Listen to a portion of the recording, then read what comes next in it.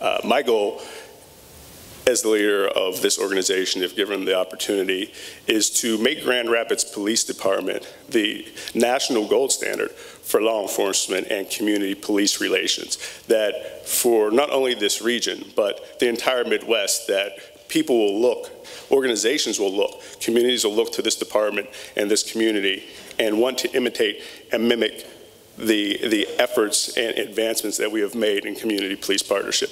So there are 23 allegations against the GRPD, and so there is a perception of racial bias. I'll tell you that then perception is reality.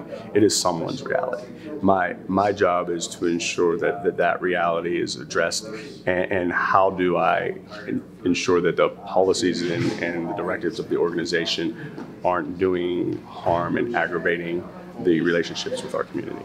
Uh, and, and part of that is me engaging the community, our organization, our leadership team, engaging the community and providing understanding about or providing information so that citizens understand why we do what we do and, the manner in which we do it and, and then me looking at the way my officers are trained to ensure that that the information and education that we're providing them isn't creating disparate impact to to members of our community. And, and so whether it's real or perceived, it's a reality for the organization that, that there's an accusation of racial bias.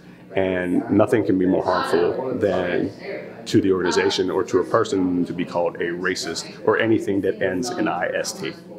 So, so I have an obligation not only to the community, but to the organization to ensure that our practices and policies aren't facilitating that type of policing.